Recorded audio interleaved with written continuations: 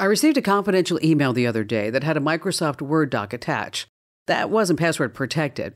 Anyone with access to my email could just open the doc, and not to mention all the servers that the mail bounced to and from before it reached me. And this problem is so easily fixed. I'm Kim Komando. From now on, I want you to pretend that the email you send is like a postcard going through the U.S. Postal Service. Anyone can read it or copy it. This includes your email attachments too.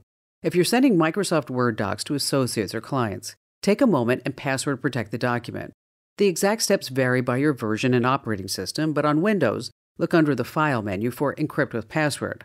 On a Mac, it's under the Review menu.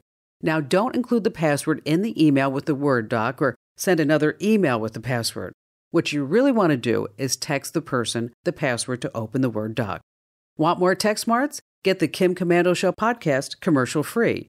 Go to getkim.com. That's getkim.com. Whether you're on Twitter, Instagram, Facebook, or Pinterest, stop by my page and say hello. I'd love to hear from you.